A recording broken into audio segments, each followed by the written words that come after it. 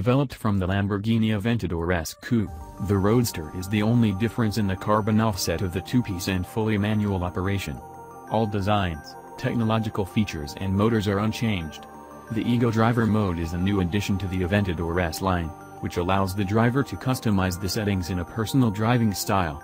The heart of the Lamborghini Aventador S Roadster is still a mid-engine 6.5-liter V12 engine for 740 horsepower and 690 newton-meters of torque. The Aventador S Roadster is expected to cost US $460,000 in the US market. Market At home, Audi has launched a special model R8 V10 RWS supercar driving the rear with limited production of only 999 units for both the coupe and Spider. The R8 V10 RWS features an electronic balance system, power steering and specially designed chassis that make the car more efficient and flexible. The Audi R8 V10 RWS can be easily identified by the striking red stripe running from front to back. Motorcycle ownership of a 5.2-liter V10 engine produces 540 horsepower. Each R8 V10 RWS will be labeled one of 999 in front of the extra seat. Starting price of Audi R8 V10 RWS in Europe is from 168,500 US dollars to 184,150 US dollars. Ferrari Portofino replaced California seductive sedan for the past 10 years. Portofino has a design inspired by the 812 Superfast. Ferrari Portofino still uses California's rigid chassis but is lighter and stronger. New cars are longer, lower and wider than California.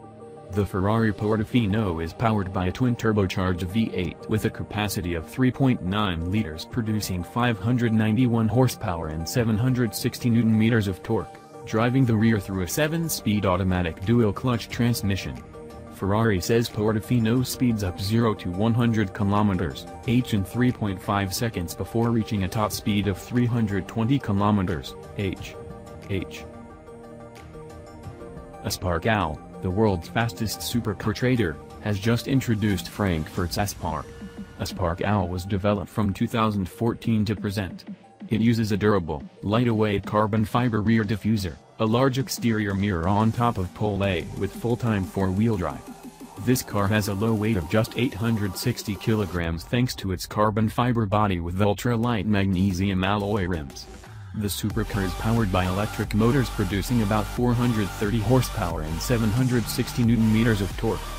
Despite its not impressive performance, but with a light weight of less than 1 meter and a high aerodynamic design, the Aspark Owl can accelerate from 0 to 100 kilometers, h in under 2 seconds. After over a year on its supercar project, Mercedes officially unveiled its most expensive supercar, Project One. Mercedes-AMG Project One is the first commercial vehicle in the world to use the powertrain system in F1 racing cars. Project One's body is made of pure carbon fiber. This supercar uses four electric motors and a 1.6-liter turbocharged 1.6-liter V6 petrol engine with a total capacity of up to 1,000 horsepower. Mercedes-AMG claims that the car is likely to exceed 350 km h, accelerating 0 to 200 km h in less than 6 seconds. In addition, a completely new automatic 8-speed transmission was developed specifically for Project One.